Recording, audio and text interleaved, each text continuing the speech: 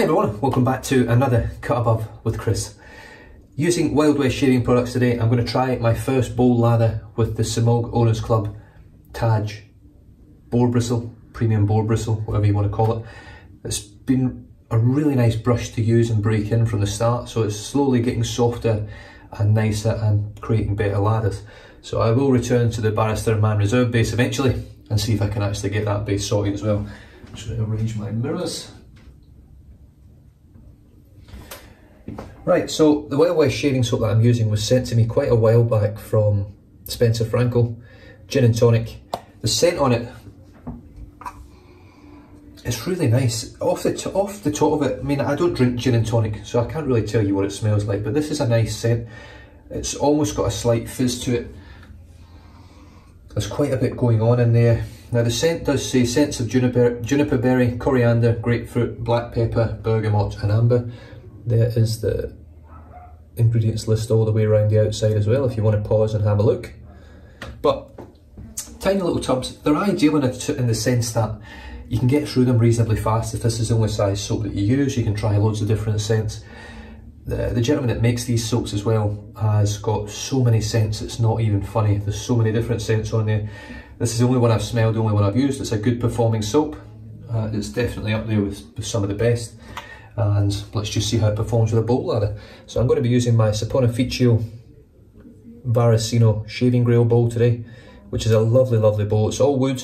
It is actually a two-piece bowl. This handle comes out, flips upside down and goes inside there the other way, just for travel and portability. And as you can see, you've got all your dimples on the wood here. And on the inside, you might be able to see there is banana leafing around the whole rim of this bowl. Banana leafing is basically a rough texture which allows the, the lather to aerate and actually grow a little bit faster. So the brush has been soaking in my Rexton Brewing Company, Rexton Port Brewing Company glass which was sent over from Chris of karveshaving.com. Just going to flick out a bit of the water but not loads of it using the Semogue Taj 2018 Premium Bowl Semogue Owners Club. Beautiful, beautiful brush. It's really nice, got a great weight. It's actually quite nice to look at. I'm surprised I enjoy it so much. There's not a single dark hair in this knot either. The knot is pure blonde. And straight into here. So I've squished a fair bit of the soap in this bowl. The good thing with bowl lathers is it does actually, it really assists in breaking into the, the, the brush as well. Well, I find it does. Especially considering there's so much going on in this bowl to actually smash the tips of the bowl here you see there, you can see it's starting to build already.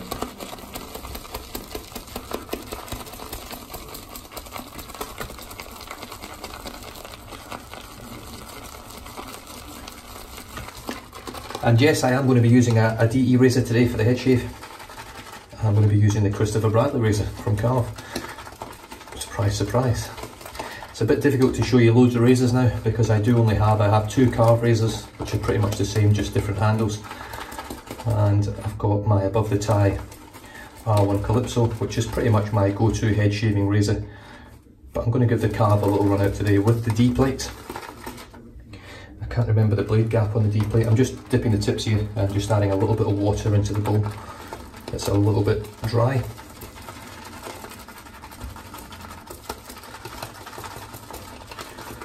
Now one thing I've been surprised by with this brush, I was expecting to lose a lot of hair especially during the break-in period, but I haven't. I think I've lost probably four hairs, three hairs from this knot.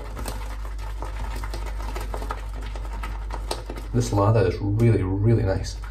I'll just show you just now just what it looks like at the moment. I mean, that's, there's hardly any bubbles in it, it's so dense. But I am going to dip the tips again, it does need a little bit more water. I don't know how many passes this is going to take, so I want to make sure I've got enough built up lather to get through the full shave.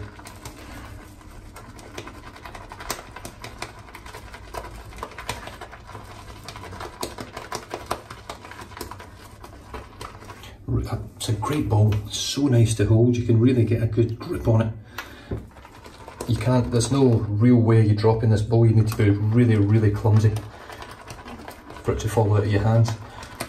And the good thing is, with it being wood, it would more than likely just dent the wood, it wouldn't actually break as such because it's wood's quite a durable thing, you know, it's it can almost take a bit of a bit of a beating as well if you drop it. It does have a little bit of give. When I received this bowl as well, there was a few little dents and marks on it anyway to begin with, but it doesn't get much use. I'm not a massive bowl lathering fan. If I'm honest, I'm not very good at it. I, I do tend to miss the mark on most occasions with my ladders when I bowl lather. However, on this occasion, I don't think I have. Just having a look to see, I mean you can see the density of that lather. The scent, scent's lovely. There's a lot more sort of zing in it now. It, it sort of opens up when you get a bit of water in there. And you can really smell it. It's quite a it's quite a fragrant citrusy sort of scent for me, even though from memory, I know my memory's really bad that I'm having to look back on here. There's grapefruit, which is the main sort of citrusy sort of thing going on in here. But just a wonderful scented soap. And an excellent performer, very, very slick. And as you can see, it takes a little bit of work, I find, especially the bowl. But that's pretty much what you end up with. Now there's not a whole heap of lather in this bowl, I have to admit. But it should be enough to complete my head shave. So I've started the shave off already with some Furball pre-shave, which I always forget to mention, but that is what I've got in my head already. I'm just going to dip my whole hands in the water and add just a little bit of water back on because it's dried in, and straight away I can feel the, the Furball sort of reactivate. It just rinses off your fingers because it's water based, there's no oils in it I don't believe, so it doesn't actually stick stick to your hands and it does break down in water very easily. There's actually quite a lot of lather here, which is nice. So let's just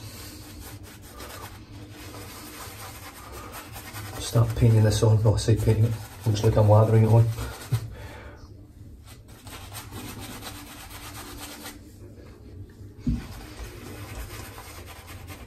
I'll just give it a little bit of a scrub around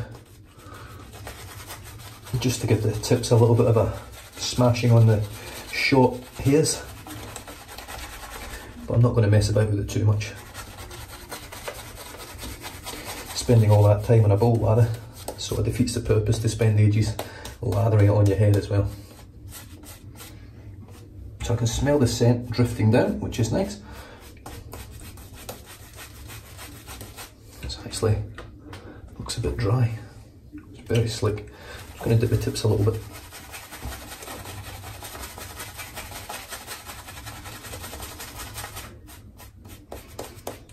And that'll do this. So it's not a very voluminous lather. Find in my head I don't get very voluminous lathers anyway for some reason. But it's a good thick coating, which is what you really want, especially when you're about to tackle it with a DE razor.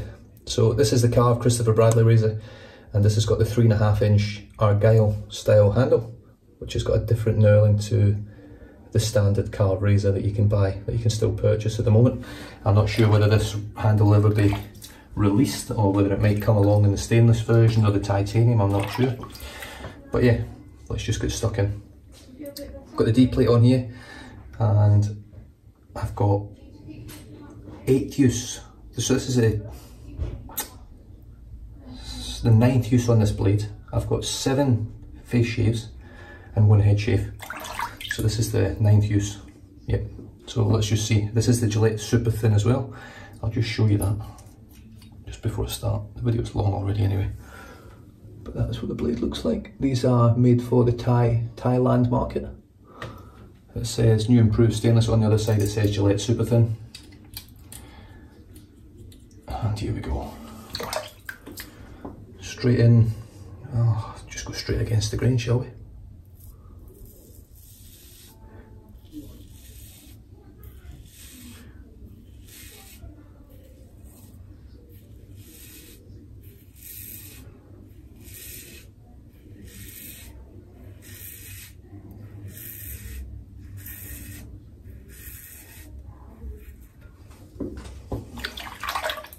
could have turned that over there, I don't know why I rinsed that off straight away.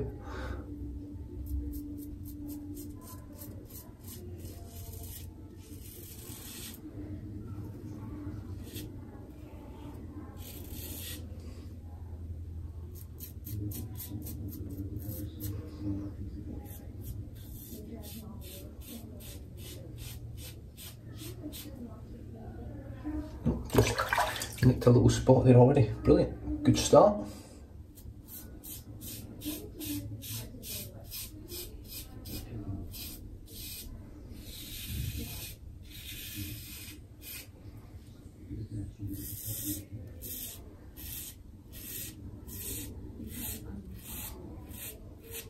I am a little bit out of touch, if I'm honest, with my DE razors on the head shaves.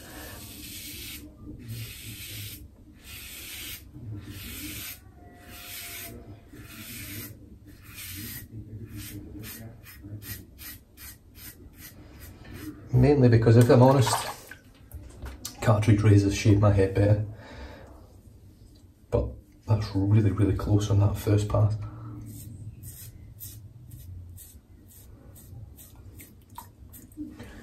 In BBS on that first pass right over that area there.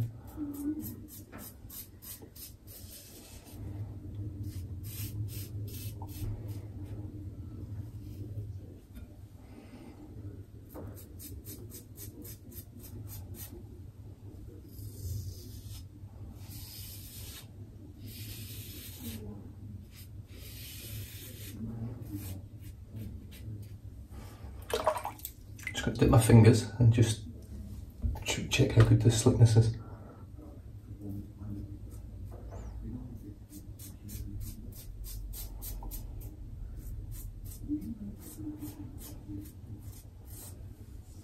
It's really good. Right.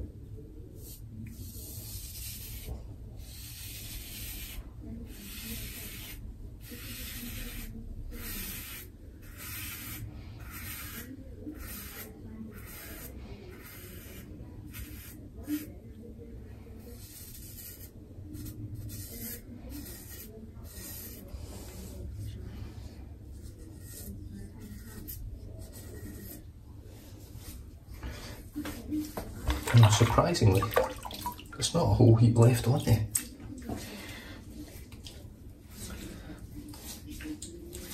In fact, there's hardly anything.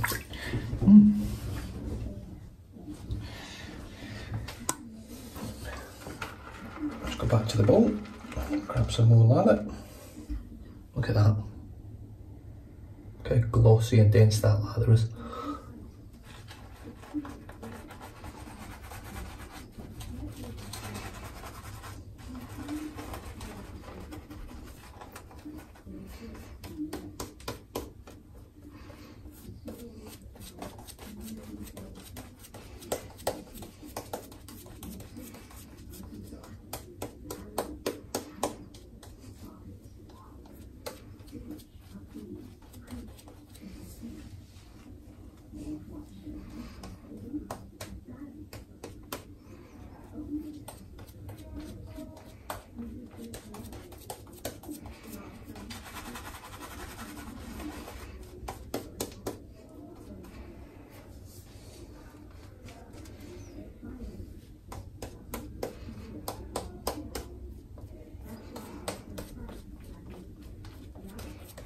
Right, let's get stuck in with the final pass.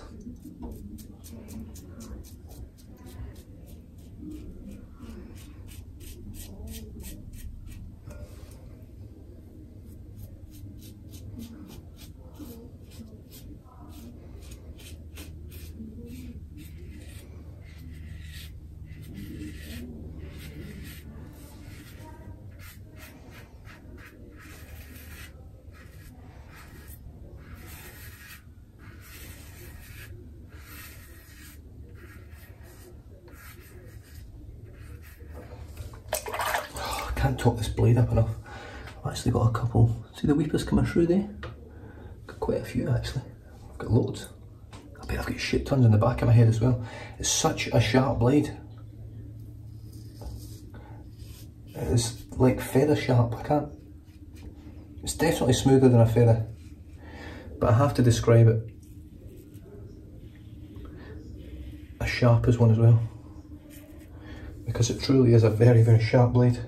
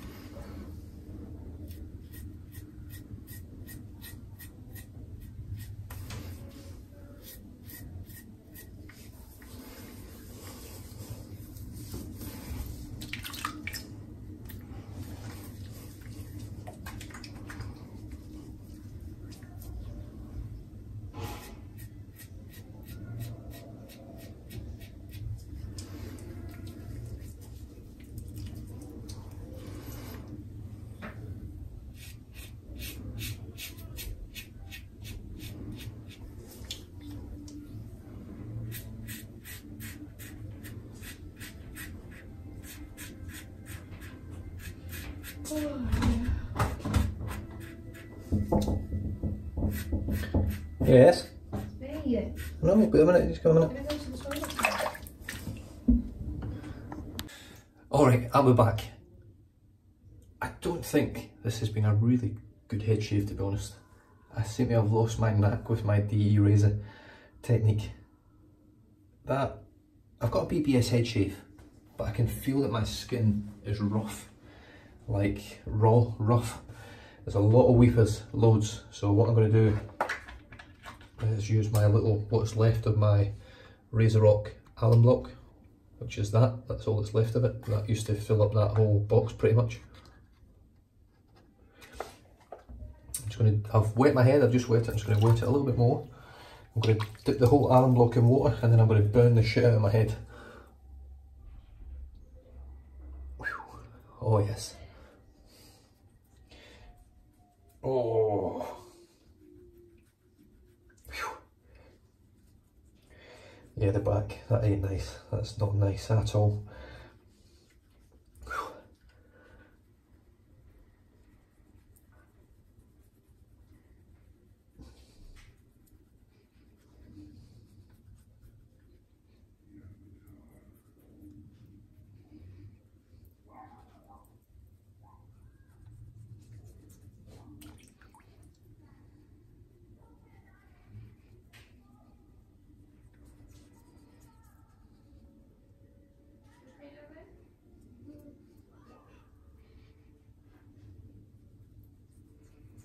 So the sting in the burn is pretty much gone now. I'm not feeling any sting or any burn at all. So that tells me that it's pretty much done its job, the alum block.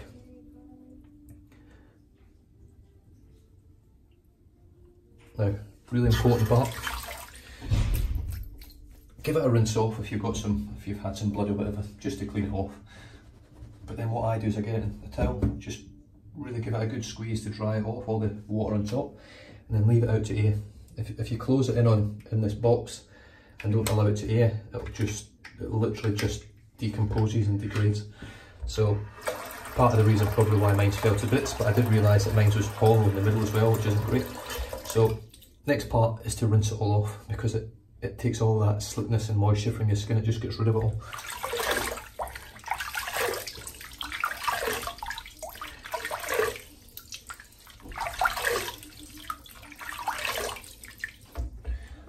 saw that off.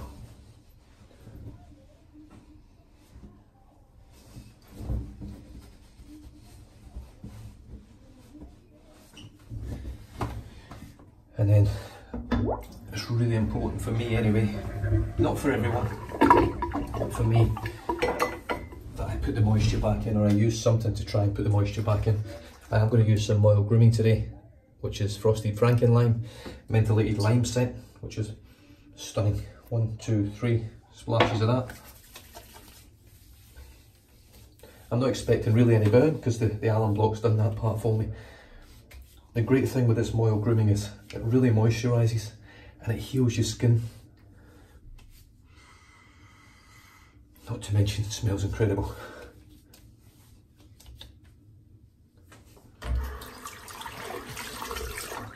Right. Let us rinse the brush off.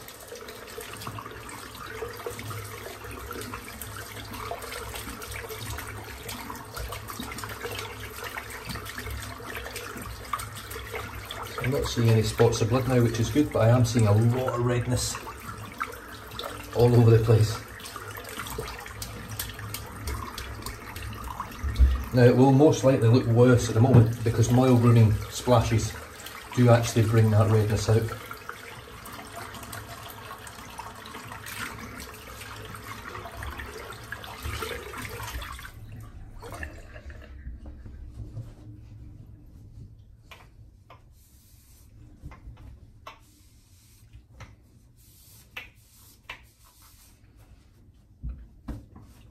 Right, so we started this shave off today with Furball pre-shave gel. I did that off camera, I normally put that on off camera because it's just a little bit you put on and it's not really sort of made you think you sort of do at the start of the video really.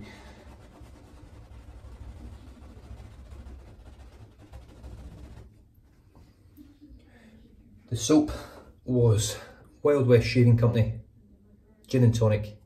There are the ingredients list and what its scent is. It's a good, it's a great performing soap really, I've got to say. I mean, had I used a, a lesser protective soap today, I think I'd have been a whole lot more world of hurt. The brush for today, oh, actually I should start with that. The bowl was the Saponificio Varesino Shaving Grail, which is an absolutely stunning bowl. Very comfortable to hold, very hard to get hold of these days you can't just grab them anymore. I don't think they're really on sale in too many places. The brush was the Semogue Owners Club Taj Resin Premium Blonde Bow, which is absolutely beautiful. It's starting to really bloom out now. And it's really, uh, the thing I love about natural hair brushes is they absorb the scents of the soaps that you use, which is really nice. The razor was the Karve Christopher Bradley razor with the D plate. And it's it shaves really well. It's, it's, it's almost too smooth. And I think part of my problem with it is it's so smooth, I give it too much pressure. And I think that's part of the reason that I've ended up in the predicament I'm in today. But with a little bit of alum block and a splash of, in my opinion, one of the best splashes on the planet from Moyle Grooming. It should bring my skin back to where it should be in a very short period of time. I mean, it's it feels better already, it really does. That menthol from the Moyle grooming as well just cools your skin down, makes it feel a lot better rather than that hot burning sensation, you get a cooling sensation. And yeah, it works really, really well. So I hope you guys enjoyed that. It's been a long video once again. Uh, yeah, I'm just not the best with my bowl ladders, unfortunately. I'm a little bit quicker with a head ladder or a face ladder, but we'll get there eventually. Stay safe, drive safe, don't drink and drive, and I'll catch you guys in the next one. Cheers.